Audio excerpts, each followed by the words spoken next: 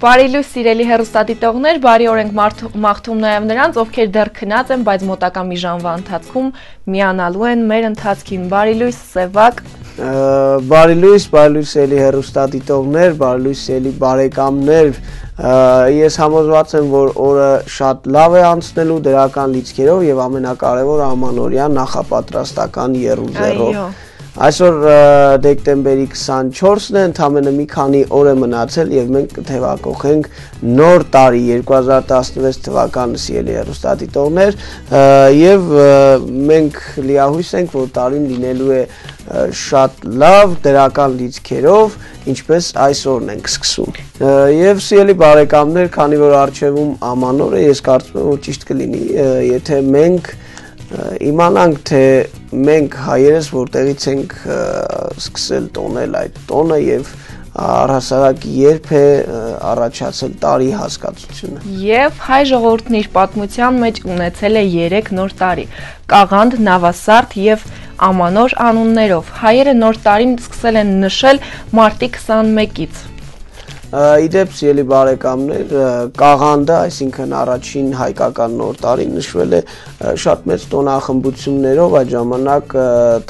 տաճարներում հատուկ ծեսեր են կազմակերպվել եւ նաեւ զոհեր են մատուցվել աստվածներին եւ դրանից հետո արդեն նոր տարին նշվել է Նավասարդի 1-ին, ելի հերոստադիտողներ, այսինքն օգոստոսի 11-ին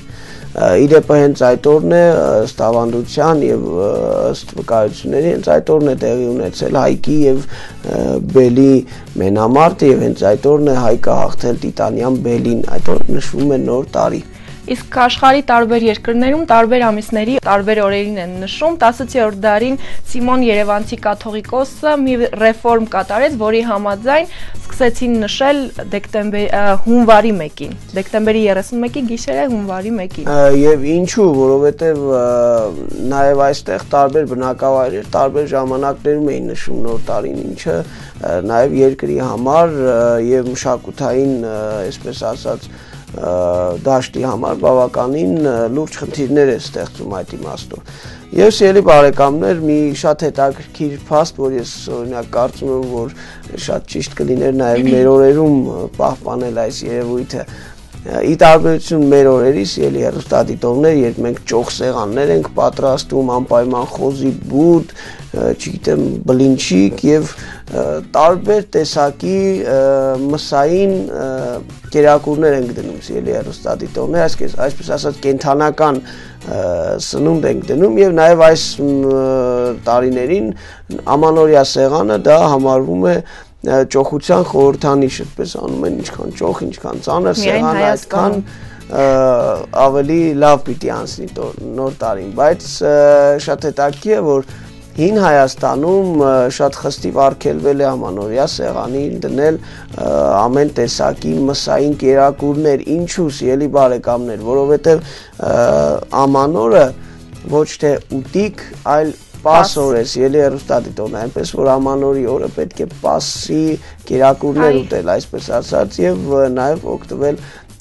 բուսական կերակուրներից եւ ոչ թե կենթանական մսեղենից։ Այո, Չնայած կարծում եմ, որ եթե մենք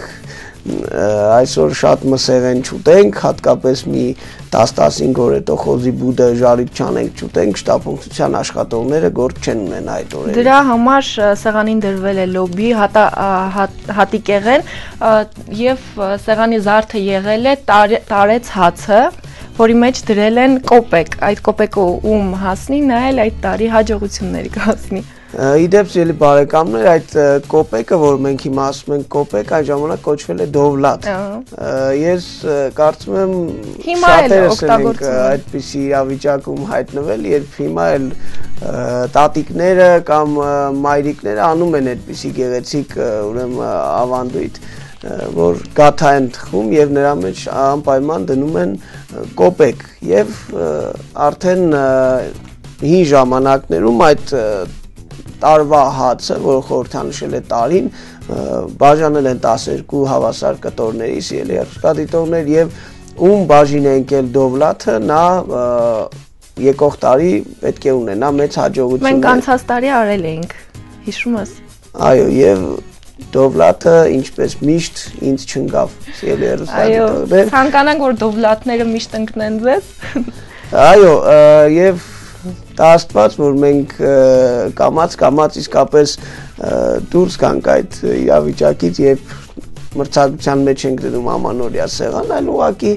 յուրաքանչյուրը իր հնարավորության սահմանում ամանորի սեղան դնի եւ ուրախ ու կարևորը բարձր տրամադրությամբ, այլ ոչ թե սեղանների առատությամբ դիմավորենք նոր տարի, որովհետեւ ինչքան լավ տրամադրություն ունենանք, այնքան լավ տրամադրությամբ էլ մուտք կգործենք նոր տարի եւ այդպես կշարունակենք։ Իսկ հիմա մուտք են գործում գեղեցիկ երաժշտության աշխարհ եւ վերադառնում։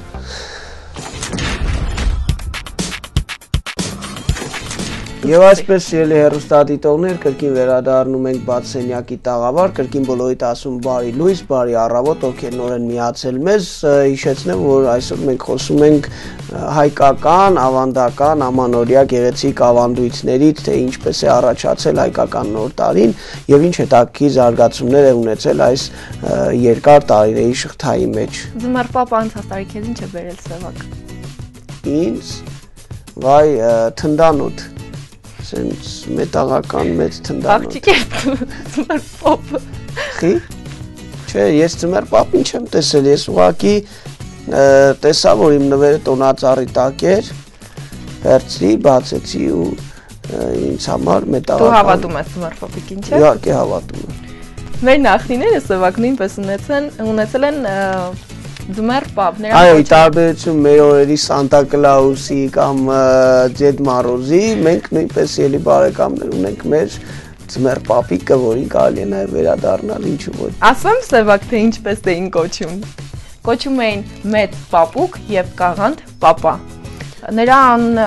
նրա նկապված է եղել Սահակ Պարթևի անվան հետ, նրա տեսքը գիտես ինչպես է եղել ինչքանով որ ես հիշում եմ նրա տեսքը եղել է այսօրվա ձմեռ պապիկներից չի տարբերվել իր գավազանը, որտեղ նա նույնպես ունեցել է գավազան, պարզապես հայկական լեռնաշխարհին համապատասխան նա կրել է ոչխարի մորթուց պատրաստված հակուստ, ելի բարեկամներ։ Եվ ես օրինակ պատկերացնում եմ ինչ լավ կլիներ, եթե օրերից մի օր մենք վերադարձ կատարեինք մեր նախնիների գեղեցիկ ավանդույթների, որովհետև տեսնում ենք, որ իսկապես շատ գեղեցիկ ու լավ սովորություններ ու ավանդույթներ կան սիրելի հեռուստադիտողներ եւ ինչու ոչ մերը այլ շատ լավ է երբ մենք վերցնում ենք տարբեր տեղերից բայց նաեւ լավ կլիներ պահպանենք մերը Նշենք, որ հայերը նույնպես ունեցել են տոնածառ, սակայն դա եղել է ձթենու ճյուղերի տեսքով այո սիրելի բարեկամներ եւ իդեպ տոնածառի սկիզբը կապվում է ռեֆորմացիայի առաջնորդ Մարտին Լյութերի անվան հետ նա մի գիշեր տուն գնալիս օգնած է լինում նստում է մի նստարանին եւ նայում է իր շուրջը գտնվող եղևնիներին այդ ժամանակ եղևնիներից այն կողմ լույսեր են վառված լինում տան լույսեր եւ այդ լույսերը եղևնու ճյուղերի արանքից արկայծում են Եվ հենց այստեղ էլ նա մտածում է այդ մասին եւ հենց առաջի տոնածառը զարդարում իր տանը սիրելի բարեկամներ։ Եվ տոնածառը գիտես ինչպես են զարդարել։ Զարդարել են հացահատիկով, ձվով, սովորական ձվով։ Այո, կոնֆետներ են կախել, սիրելի ստադիտողներ, վաֆլիներ, մրգեր, իդեպ դա իր խորհուրդն է ունեցել, որը խորհրդանշել է առատություն, պտղաբերություն, Դրա համար հիմա մի քիչ-քիչ են ծնվում երեխաներ, որովհետև մենք կախում ենք կապրոնից խաղալիք։ Դու անդադ խոսում ես վատ թեմաներից։ Ես վատ թեմայից չեմ խոսում, ուղղակի ես խնդրում եմ ու համոզում եմ հերոստատիտողներին վերադառնանք տանց խնձոր մանդարին խաղալիքներին։ Ընդհանրապես ինչ վատն եմ ես։ Լավ, եւ այսպես ելի բարեկամներ, եզրափակենք թեման, ես ուղղակի նշեմ, որ հին Հայաստանում մարդիկ կաղանդի ծառ, ամանորյա տոնածառ, այսպես ասած, տարել են քահանայի մոտ եւ օրնել են այդ ծառը, որից հետո նոր բերել են տուն եւ տեղադրել իրենց տանը։ Եվ Սիրելի բարեկամներ, տա Աստված, որ այս տարին իսկապես յուրաքանչյուրիս համար եւս մեկ անգամ լինի օրնված ու բարիքներով լի տարի, անկախ նրանից թե մենք մեր տոնածառին ինչ ենք կախելու։ Իսկ հիմա սիրելի հերոստատիտողներ, Գնանք դեպի Վարսահարդարում եւ վերադառնանք տաղավար։ Վերադարձանք տաղավար սիրելի հերոստատիտողներ, վերադարձանք եւ շարունակենք խոսել ամանորից, քանի որ ընդամենը մի քանի օրից մենք դիմավորում ենք նոր տարին սիրելի հերոստատիտողներ։ Այո, եւ միջնադարյան Եվրոպայում բնակիչները իրենց տուն են բերել մշտադալար ճյուղեր, որպեսզի զարդարեն իրենց տունը, սակայն իշխանությունները թույլ չեն տվել անտառահատման համար։ Այո, որովհետև վերջոց ելի բարեկամներ ափսոս են այդ անտառները ինչու կտրտել եւ ոչնչացնել։ Եթե կարելի է դրա փոխարեն մի այլ եղանակ գտնել, օրինակ արհեստական Չկար այդպիսի եղանակ ժամանակ։ Լավ, սիրելի բարեկամներ, նշենք, որ 17-րդ դարի կեսերին Եղևնին զարդարելու հստակ կանոններ էին սահմանված, ծննդյան ծառը զարդարելու հստակ կանոններ կար սահմանված, որոնց համաձայն տոնածառի գագաթը պետք է զարդարեր վիֆլեմական աստղը, սիրելի բարեկամներ իսկ տոնածառը զարդարող գնդիկները մեր օրյա այն ժամանակ եղել են խնձորներ, ինչու, որովհետև այդ խնձորները խորհրդանշել են արգելված պտուղը, որը կերել են Ադամն ու Եվան։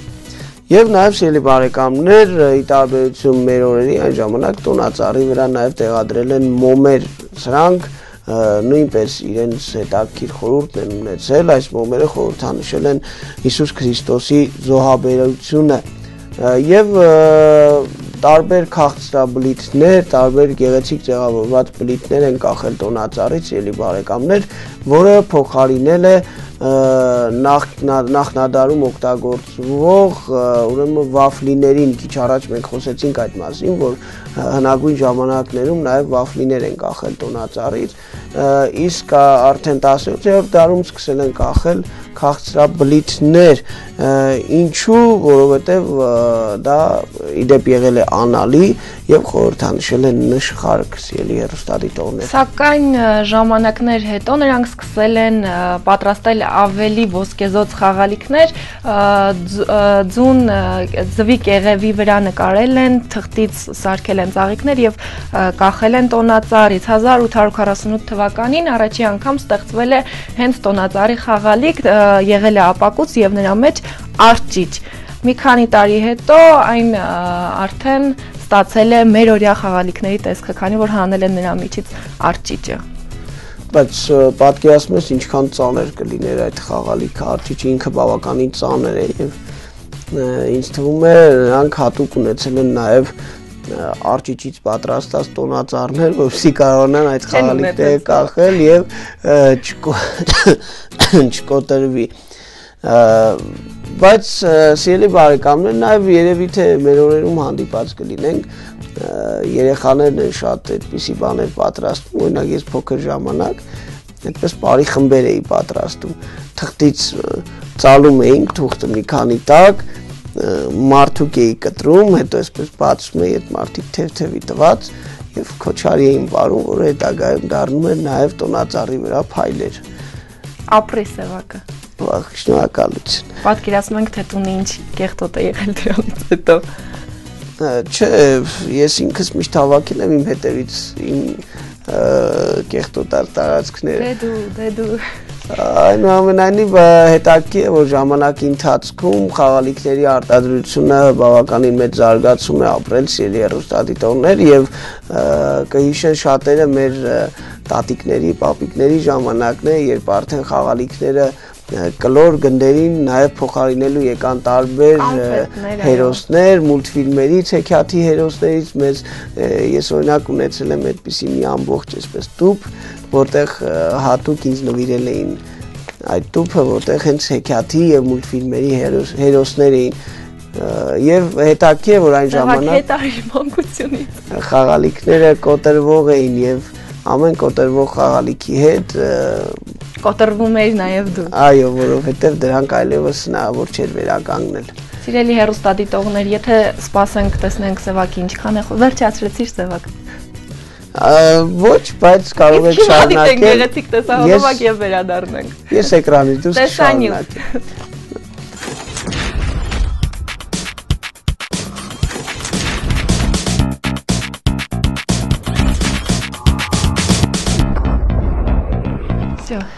Վերադարձանք տաղավար սիրելի հերոստատիտողներ, մենք արդեն տեսնում ենք մեր գործընկերոջը, գործընկերուհուն։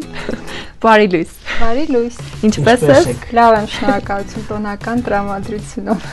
Այսօր ինչից ենք խոսելու։ Այսօր կխոսենք կրկին, ինչպես նախորդ հաղորդումներին տոնական թեմայից, աշխարհի ամենամեծ լողացող Եղևնու մասին։ Այո։ Փաստորեն Ռիո դե Ժանեյրո քաղաքի Ռոդրիգո դե Ֆրեյտես կղզում տեղադրված է մի եղևնի հենց լճի կենտրոնում, որը աշխարհի ամենամեծ լողացող եղևնին է համարվում եւ այս ավանդույթը ձևավորվել է դեռևս 1996 թվականին եւ ամեն տարի Ռիո դե Ժանեյրոյի քաղաքապետարանը տեղադրում է այս եղևնին հատուկ տաղավարի վրա եւ դնում հենց լճի կենտրոնում։ Լողալով տանում։ Այո։ Եվ ամեն տարի հարկ է թարմեցվում, ամեն տարի ինչ-որ նորություններ է մցվում։ Ասեմ, որ Եղևնին իրենից ներկայացնում է մետաղական Եղևնի, որը պատված է ամբողջությամբ պատված է լույսերով այն բարձրությունը հասնում է 85 մետրի եւ այս հսկա մետաղական եղևնու քաշը կազմում է 542 տոննա, այդքան ծանր է այն։ Իհարկե սրա վրա տեղադրված են շատ գեղեցիկ լուսային ձևավորումներ եւ մոտ 3 միլիոն լույս կա տեղադրված այս եղևնու վրա։ Իհարկե հարց է առաջանում, թե հենց լճի կենտրոնում ինչու ինչպես է լուսային այս էլեկտրաէներգիան մատակարարվում, այն ապահովում է հատուկ գեներատորային հատուկ դիզելային գեներատորի օգնությամբ շատ հզոր գեներատոր է տեղադրված, որը կարող է նույնիսկ մի փոքրիկ ավանի ամբողջությամբ լուսավորել իսկ այս էֆեկտները լուսային հատուկ համակարգչային ծրագրով է ղեկավարվում, որը ապահովում է շատ գեղեցիկ լուսային շոու իհարկե սա գրավում է ոչ միայն տեղացիների ուշադրություն, այլև հատուկ քաղաքապետարանը հոգ է տարել, որպեսզի զբոսաշրջիկներին էլ գրավի դեպի այս եղևնին Իդեպ նրանց խոսքերով այս էլեկտրական եղևնու այս ստեղծողների խոսքերով եղևնին երևում է նույնիսկ տիեզերքից շատ գեղեցիկ է եւ իսկ վտանգավոր չէ որ լույսը եւ ջուրը միաժամանակ մի տեղում են գտնվում Կարծում եմ նրանք այդ մասին էլ են հոգացել, չեմ կարծում որ ինչ որ քանի որ արդեն շատ տարիներ առաջվանից սկսած մինչեւ այժմ ապահովում է այս էֆեկտը չեմ կարծում որ խնդրեմ եղել է։ Թերևս այսքանը, կարծում եմ իհարկե մեզ մոտ չկա նման եղևնի, բայց մեր քաղաքի եղևնի պակաս գեղեցիկ է, չէ՞։ Եվ մեզ ուրախացնում է ոչ միայն մեզ, այլ նաև դրսից եկող մեր հյուրերին։ Երևի թե մեր հերոստատիտող հատկապես փոքրիկներին խորհուրդ տանք, որ հանկարծ չփորձեն տանը լողացող եղևնի պատրաստել, որովհետև դրա համար հարկավոր է որոշակի այո, որոշակի ջրամեկուսացում ապահովել հատկապես էլեկտրական լարերի մոտ։ Այդպես որ սիրելի փոքրիկներ, խնդրում ենք առանց մեծիկների օգնությամբ կամ նրանց ընկերակցության հանկարծ տանը չնախաձեռնեք այդպիսի տոնածառ պատրաստել։ Ջրի տարաների մեջ հանկարծ լողացող լույսերով տոնածառ չփորձեք պատրաստել։ Եվ իհարկե հուսանք, որ երևի մի օր էլ մեր Սևանա լճում մենք կտեսնենք մի հսկայական լողացող, բայց բնական տոնածառ հայերիս բնավորության համաձայն բամոտ չի մենք երկաթից տոնածառ դնենք բնական Թեկուս ամենամեծը չլինի աշխարհում, բայց թող լողացող լճի մեջ Եվ ամենակարևորը, որ հետո գլուխ կգովանք, ասենք, որ մեր տոնածառը Սևանը է։ Եվ առաջինը մենք լողացել, լողալով անցել է։ Հուսով ենք մեր մտահղացումները կլսեն համապատասխան մարդիկ եւ կստեղծեն նման եղևնի։ Եվ այսպես ելի բարեկամներ, մենք շարունակենք մեր եթերը եւ մաղթենք, որ գալիք տարին լինի իսկապես այնքան լավ, այնքան հաջող ու լողալով ուղղակի լողալով այսպես անցնենք առանց որևէ վտանգների եւ դժվարությունների։ Իսկ հիմա լսենք գեղեցիկ երաժշտություն եւ վերադառնանք տաղավար։ Գնացինք։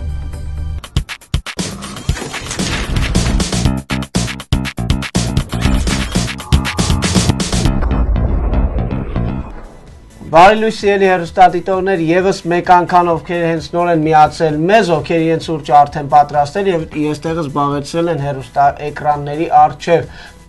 Պիտի ասեմ, որ բավականին ճիշտ ժամանակին հասցրել եք միանալ մեր հաղորդմանը, որովհետև որ մեր հյուրասենյակ արդեն բացել է իր դռները եւ մենք տեսնում ենք արդեն մեր հյուրերին Եվ այսպես ելի բարեկամներ, սիրով ներկայացնեմ մեր հյուրերին հորովել անսամբլի պարող Միքայել Թավրիզյանի անվան Արվեստի Պետական քոլեջի Պարարվեստի բաժնի դասախոս Սևակ Էմինյան եւ հորովել անսամբլի պարուհի Անի Գևորքյան։ Բարի լույս ձեզ։ Բարի լույս։ Ինչպես է տրամադրությունը։ Շատ լավ։ Նորմալ։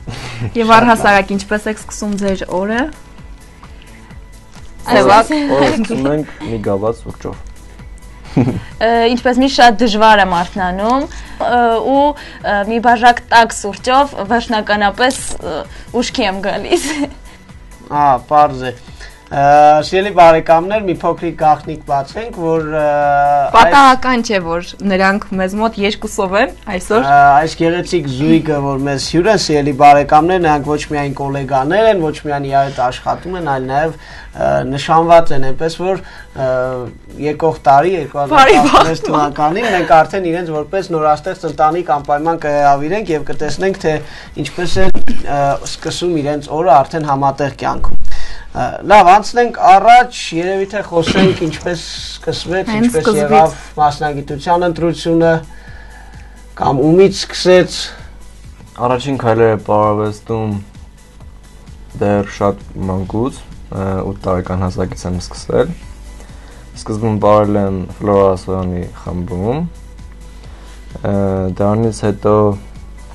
2009 թվականից ընդունվել եմ Երևանի թատրոնի եւ կինոյի պետական ինստիտուտ համատեղ փորձերի գնացել եմ հորովել երկի բարի անսամբլում կա ինչ որ հատուկ մարդ ով հատկապես ուղղորդել է ձեզ կամ օրինակ է դարձել մասնագիտության ընտրության հարցում սկզբում քույրս է ինձ տարեպարի Հետո արդեն իմ մողին կամած կամած ես շարունակեցի։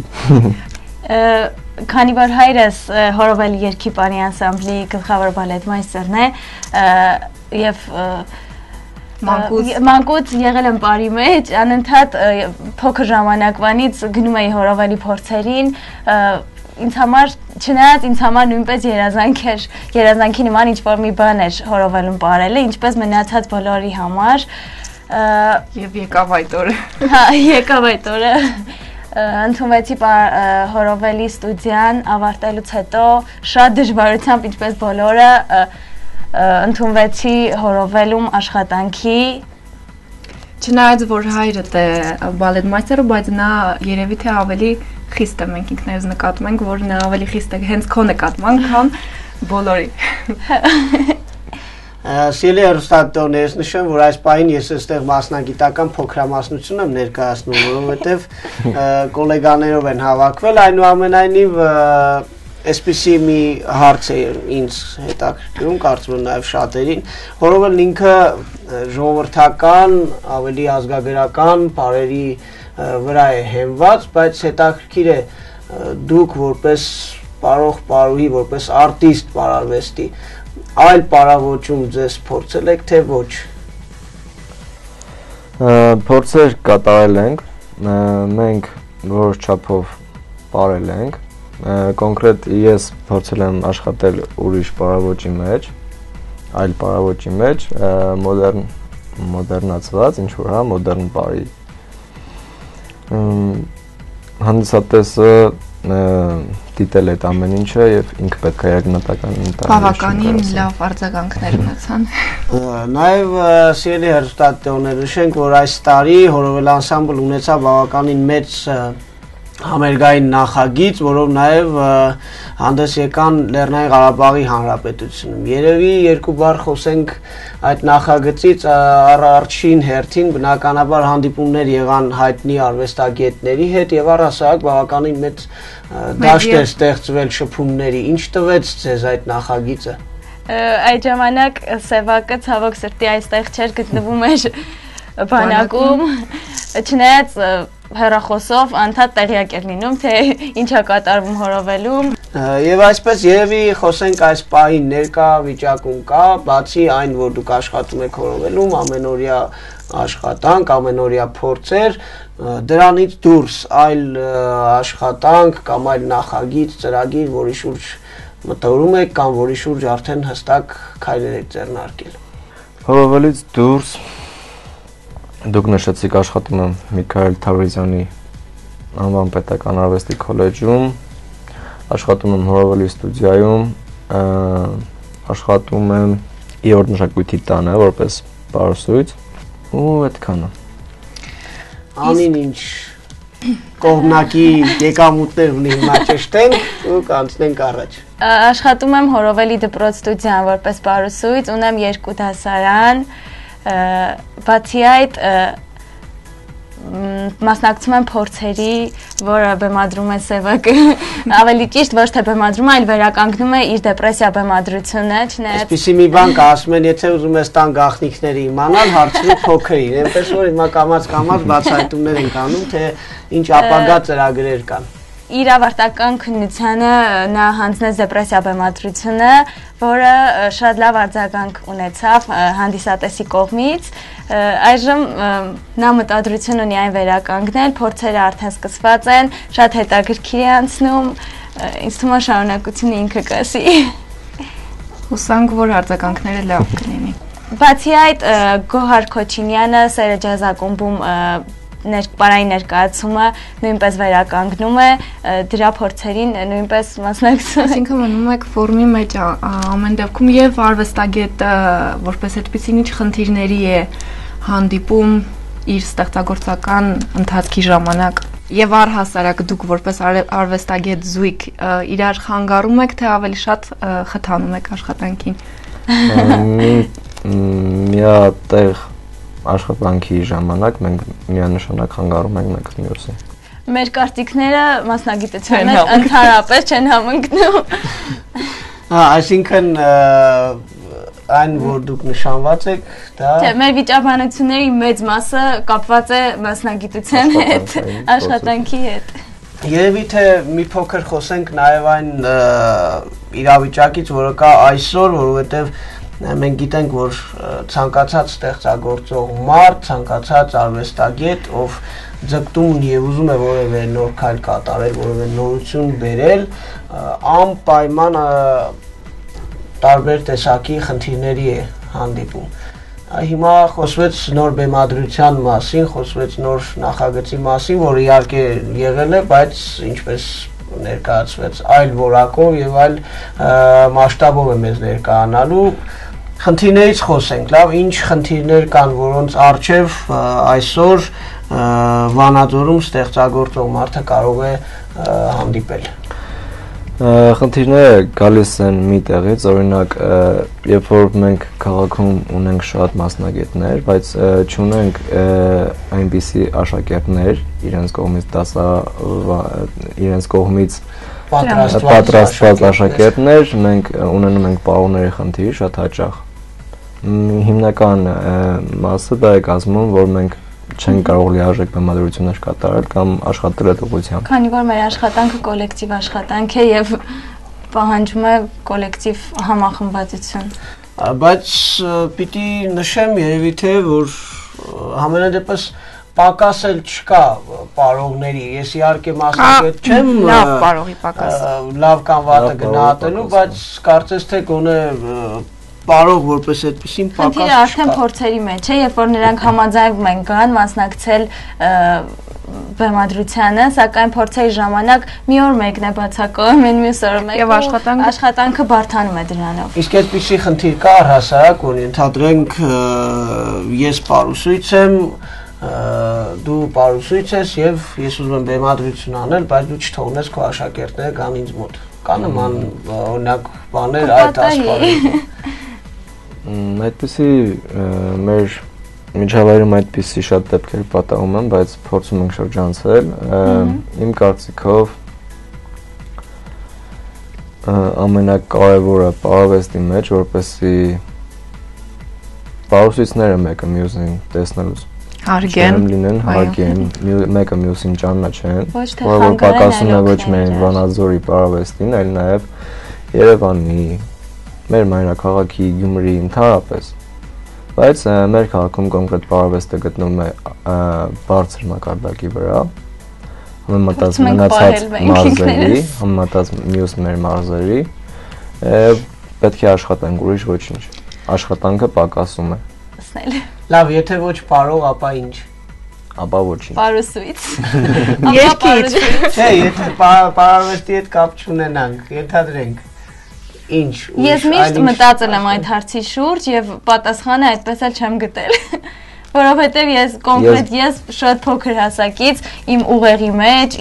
մեր տան էլ որ խոսացել են ես անդադ իմացել եմ որ ես պետքա զբաղվեմ պարարվեստով պարարվեստով ու դա իմ մեջ հենց փոքրուց մտել է իսկ երկրից դուրս գալու այնտեղ ստեղծագործելու ինչ որ մտքեր Հայաստանում պարարվեստի բնակավարում գտնվել է շատ բարդ դժվար խնդիր է, բայց ես ինձ Հայաստանից դուրս արտերկրում չեմ պատկերացնում մեր վեճերի վեճերից եւս մեկ վեճի պատճառ, եւս մեկ վեճի պատճառ դա է եւ որ ես Սևակին ասում եմ հնարավոր է գնանք ուրիշ երկրում ինչ որ մեր գործունեություն ծավալենք, ինքը ասում է ոչ, ավելի լավ է մնանք մեր քաղաքում, ստեղծենք, բարգավաճենք Պարզ է եւ երևի թե երկու բառով էլ խոսենք բացի այն որ նոր ներկայացումը կլինի, երբ կլինի իհարկե եւ Բացի դա, ել ինչ ապագա պլաններ կան, որոնց մասին մտորում եք եւ իհարկե կարելի է նաեւ հակագծեր բացել այսօր։ Ներկայացումը իմ կարծիքով կլինի 2016 թվականի հունիս-հուլիս ամիսներին ունեմ եւս մի քանի մտահղացումներ, որոնց վրա պետք է աշխատեմ Ես շատ, չգիտեմ, նպատակ ասեմ, թե ինչ, ցանկություն ավելի ճիշտ ցանկությունն է, որպեսի մեր քաղաքում բացվի թատրոն, փոքրիկ թատրոն, որը որտեղ կբեմադրվեն միայն պարային ներկայացումներ, թեկուս թատրոնի հիմնադիրը չլինեմ ես, լինի ընկերներից որևէ մեկը, ինձ համար դա, չգիտեմ, ցանկությունն է։ Լավ, Հուսանք, որ մի օր անի ցանկությունը կլինի եւ բոլորս կլինենք այդ թատրոնում եւ կստեղծագործենք ինչ որ։ Մի անգամից արդեն ընկերներով տեղավորվեցին, նորմալ դե ինչ սիրելի երուստադիտողներ, ես կարծում եմ ձեր բոլոր նպատակներն ու երազանքները բավականին մեծ շանսեր ունեն իրականանալու ինչու, որովհետև արժևում ամանոր է եւ դուք կարող եք հենց այդ գիշեր պահել ձեր երազանքը եւ կարծում եմ որ եկող տարի այդ երազանքը կկատարվի կամ եթե ամբողջությամբ չկատարվի, էլ գոնե արդեն ծիլեր կտա եւ երազանքները միշտ կատարվում են։ Դե ինչ, երևի թե շնորհավորենք նաեւ ձեզ, ձեր գալիք ամանորը, տա Աստված, որ 2016 թվականը ձեզ համար լինի երջանկության, սիրո եւ ամենակարևորը միության տարի։ Եվ արդեն հանդիպենք որպես նորաստեղծ ընտանիք եւ խոսենք արդեն ընտանիքի համատեղ ծրագրերից։ Իսկ ինչ որ ավելացնելու բան շնորհավորանք մեր համակարգացիներին։ Շնորհավորում եմ իմ բոլոր համակարգացիներին,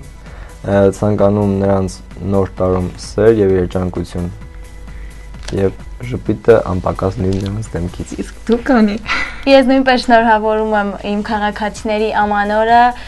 ցանկանում եմ որպեսի բոլորդ միշտ ժպտակ եւ միշտ երազեք, քանի որ երազանքները միշտ կատարվում են։ Այսպես, ելի բարեկամներ, ուրախ եւ երազանքները կատարվելու հույսի սպասումով ավարտենք մեր հյուրասրահի հատվածը։ Ես եւս մեկ անգամ ներկայացնեմ, որ մեր հյուրերն էին Հորովել անսամբլի պարող Միքայել Թավրիզյանի անվան Արվեստի պետական քոլեջի պարարվեստի բաժնի դասախոս Սևակ Էմինյանը եւ հորովել անսամբլի պարուհի Անի Գևորքյանը։ Մնացեք մեզ հետ, մենք ընդհանրապես կարճ դաթարից հետո նորից կշարունակենք մեր եթերը եւ եւս մեկ անգամ ձեզ կասենք բարի լույս ու բարի առավոտ։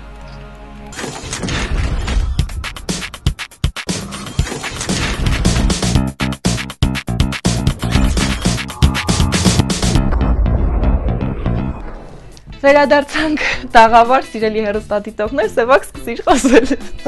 Բայց ես այս ամբողջ ընթացքում նորից խոսում էի, պատմում էի տատիկի, պապիկի խաղալիքներից, որոնցից այսօր ոչ մի նմուշ չունեմ, ինչ պատ է։ Մի խոսքով այսօր շատ բարձր տրամադրություն ունենք սիրելի բարեկամներ,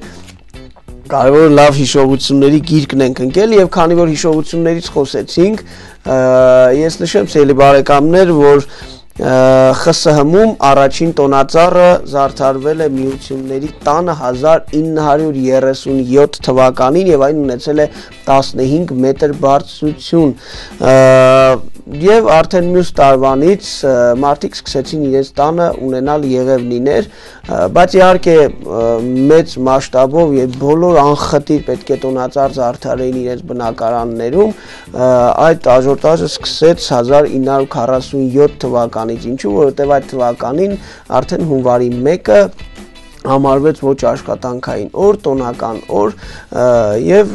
մարտիկ սկսեցին ավելի տոնական եւ բուրըն պատրաստվել ամանորին։ Սիրելի հերոստատիտողներ, ես այսօր ավելի շատ հարց տվողի դերում եմ, Սևակից դու ինչ նվեր ես պատրաստել Ասիայի համար։ Ոչ մի, որովհետեւ ես ծմեր պապիկ չեմ, ես ուղակի քեզ խնդրել եմ նամակ գրես ծմեր պապիկին եւ եթե դու քեզ լավ ես ողել նա անպայման նվեր կբերի քեզ ինչ վերաբերվում է ամանորյան նվերներին որ ուղեկցվում է բարեմաղթանքներով առաջել է առաջացել է առաջին անգամ հին հռոմում ամանդույթի սկիզբը համարվել է մեր թվարկությունից առաջ 153 թվականից իդեպ սիրելի բարեկամներ, ինչքան նվերներ տալ եւ նվերներ ընդունելն է հին այնքան էլ հին ժամանակներից գալիս են նախանշանները եւ դրանք մինչեւ մեր օրերը հասել են իհարկե սիրելի բարեկամներ, սակայն նույն հին հռոմեացիները համարում էին, որ ինչպես դիմավորես նոր տարին, այնպես էլ այն շարունակվելու է մինչեւ հաջորդ տարի եւ ամանորի օրը նրանք մի կողմ էին թողնում իրենց բոլոր հոգսերը, բոլոր դժվարություններն ու վատ հիշողությունները եւ ուղակի ուրախանում էին քեֆ էին անում, մի լավ զվարճանում եւ ուրախ դիմավորում ամանորը։ Իսկ գրեթե կղզում կա այսպիսի մի ավանդույթ, որ գնում է հյուր, իր հետ տանում է մի քար, դնում հատակին եւ այս ասում այսպիսի մի բարեմաղթանք, որը կներկայացնի մեր սևակը։ Թող այս քարի չափ ոսկի մտնի ձեր տուն Իդեպ սիրելի հերոստատիտողներ, հենց այս նախանշաններից մեկն է նաև այն, որ եթե դուք երազում տեսնում եք տոնածառ, ապա պետք է ամուսնանաք։ Եվ այսպես սիրելի բարեկամներ, այսքանը շատ ավելի լավ հումորային եւ ուրախ տրամադրությամբ գնանք դեպի 6 կադր եւ կհանդիպենք սիրելի հերոստատիտողներ։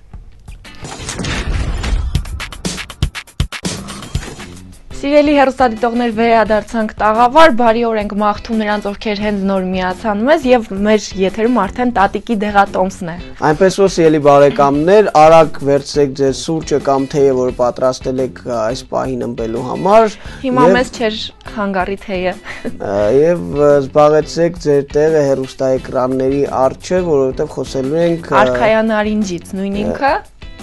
Կարալյոկ, այսպես մենք այդպես ենք ճանաչում ավելի շատ այդ միրգը եւ խոսելու ենք հատկապես արխայան արինջի օգտակար հատկություններից ելի։ Այո, ասում են, որ արխայան արինջը օգտակար նյութերի պահեստ է, նրա մեջ կա A, C եւ F վիտամիններ, օգտակար թթուներ, սպիտակուցներ, ածխաջրեր, մագնեզիում, յոդ, կալիում, կալցիում։ Արխայան արինջը նաեւ հակաօքսիդանտ է, նա նաեւ դուրս է բերում մարմնից մեր աղը, ով ունի աղիների աղերի խնդիր կարող է ուտել եւ աղաթափվել։ Իդեպ, սիրելի բարեկամներ, իր ունեցած վիտամինների շնորհիվ այս միրգը ամրապնդում է բոլոր արյունատար անոթները եւ նրա օգտագործումը խորհուրդ է տրվում հատկապես երիկամների լայնացման դեպքում եւ սիրելի հերթատոներ նշենք որ իր կազմի մեջ պարունակող շաքարի, գլյուկոզայի եւ ֆրուկտոզայի շնորհիվ այս միրգը կարգավորում է նաեւ սրտանոթային համակարգի աշխատանքը, արյան ճնշումը եւ նաեւ բավականին լավ կանխարգելում է հիպերտոնիկ հիվանդությունները եւ արխայան նարինջը Շարունակեմ։ Շարունակեմ։ Մարգարյանարինջը նաև օգտակար է մարսողությունը կարգավորելու համար։ Դիետիկ մանրաթելի օրվա անհրաժեշտ չափաբաժնի 1/4 մասը արդեն արկա է մեր արքայանարինջի մեջ, որը երկար է մարսվում ստամոքսում առհասարակ սելի հերոստատիտողներ, բժիշկները եւ մասնագետները խորհուրդ են տալիս, որպիսի այս միրգը առավել շատ օգտագործեն մարզիկները, երեխաները եւ բոլոր այն մարդիկ, ովքեր ունեն մեծ ֆիզիկական ծանրաբեռնվածություն։ Իդեպ բժիշկները խորհուրդ են տալիս, որպեսզի այս միրգը ուտեն հատկապես ստամոքսի խանգարումներ ունեցող մարդիկ։ Նշենք, որ շնորհիվ իր մեջ ունեցող երկաթային մասի այս միրգը նաև բավականին օգտակար է սակավարյունության ժամանակ Եվ ինչպես միշտ ես չեմ հրաժարվում այս մտքից, որ առհասարակ ցանկացած թար միրգ, ցանկացած բուսական կերակուր դա բավականին օգտակար է օրգանիզմի համար։ Եվ այսպես ելի բարեկամներ, իսկ հիմա տեսնենք թե ինչ է առաջարկում մեծ ռեժիսորը եւ ինչ հետաքրքիր ֆիլմի մասին ենք դիտելու տեսանյութը։ Եվ այսպես ելի բարեկամներ, վերադարձանք տաղավար, եւս մեկ անգամ բոլորին ասենք բարի լույս, եւս մեկ անգամ ասենք բարի օր, բարի առավոտ եւ լավ ու բարձր տրամադրություն մաղթենք։ Արդեն բոլորս գիտենք, որ 2016 թվականը կապիկի տարի է, կրակե կապիկի տարի է եւ տեսնենք թե ինչ է սպասվում կապիկի տարում։ Մենք շատ կլսենք կապիկի մասին տեղեկություններ։ Առհասարակ սիրելի հեռուստադիտողներ, եթե անկեղծանամ, օրինակ դու հավատում ես աստղագուշակությանը եւ առհասարակ աստղային կանխատեսումներին։ Այո, Սևակ հավատում եմ։ Ինչ կասես Սևակ, որ հավատում եմ։ Ոչինչ, ուղղակի անձամբ ես անկեղծ ասած այդքան էլ մեծ տեղ չեմ հատկացնում, բայց քանի որ շատերին հետաքրքրում է, նշեմ սիրելի բարեկամներ, որ կապիկի տարին իր իրավունքների մեջ մտնում է ոչ թե հունվարի 1-ին, այլ փետրվարի 8-ից եւ տևելու է մինչեւ 2017 թվականի հունվարի 27-ը։ Կապիկը շատ հետաքրքիր կենթանի է, նա տարբեր առումներով նման է նաև մարդկանց, նա խելացի է, հնարամիտ է, ինչպես ճարպիկ է սիրելի բարեկամներ եւ ամենակարևորը բավականին սիրելի կենթանի է նշենք կողմից կրակե կապիկը դա կրկնակի կապիկն է սիրելի բարեկամներ եւ ինչպես կրակը որ կարող է միևնույն ժամանակ տակածնել մեր տունը եւ ինչ ոչ նաեւ այրել այն այնպես էլ կապիկը կարող է ամեն ինչ կառուցել եւ իհարկե նույն ջանասիրությամբ նաեւ քանդել այն ինչ կառուցել է այնպես որ այս տարում նաև մարդիկ հնարավորություն կունենալ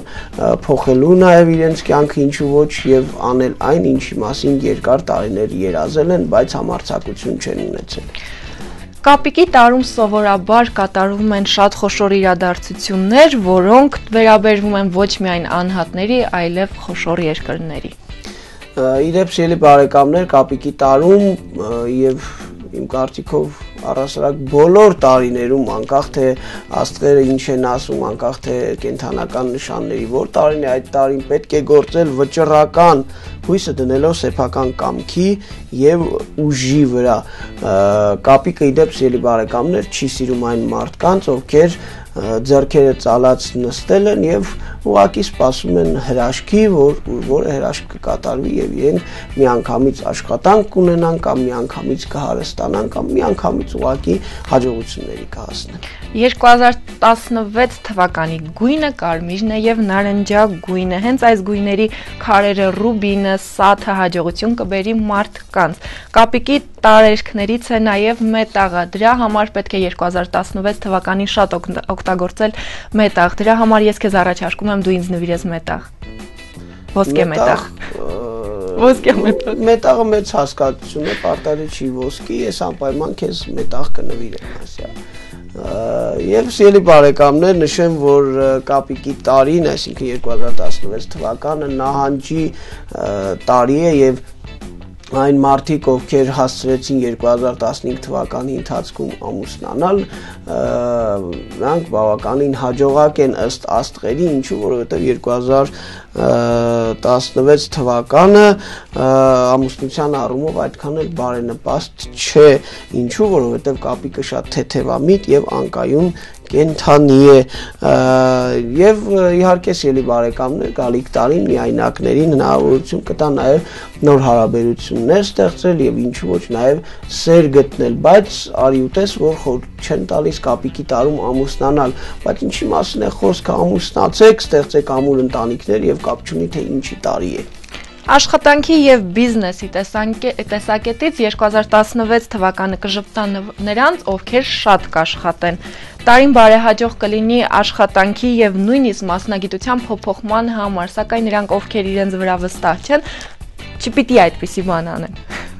եւ առասակ սիրելի բարեկամներ երևի պետք է լինել ուղակի համարցակ, ուղակի պետք է լինել նախաձեռնող եւ չնայել թե ինչ կենթանու տարի է կապիկ, չգիտեմ, կրյա, մեղու, մողես, խոզ, ձի, մի խոսքով ինձ թվում է դրանով չի որոշվելու նաև մեր հաջողությունները գալիք տարում պարզապես պետք է լինել ավելի լավ տրամադրությամբ ու լավատես եւ հաստատable։ Սիրելի հերոստատիտողներ, թող որ 2016 թվականը լինի բոլորիդ համար հաջողությունների, հեքիաթային եւ հրաշքներով լի տարի։ իսկապես թող տարվա բոլոր օրերը ունենան ձյան մաքրությունը, սիրելի բարեկամներ, թող երբեք տխրություն չլինի որևէ օջախում որևէ տանը եւ թող մեր փոքրիկները ապրեն խաղաղ երկրում, թող միշտ խաղաղություն լինի մեր երկրում եւ մենք միայն ուրախանալու առիթներ ունենանք եկող տարի։ Այսքանով սահմանափակվենք եւ բարի օր կրկին մաղթենք բոլորիդ, լավ տրամադրություն։ Եվս մեկ անգամ բարի լույս ելի բարեկամներ, մնացեք խաղաղությամբ, կհանդիպենք։ Հաջողություն։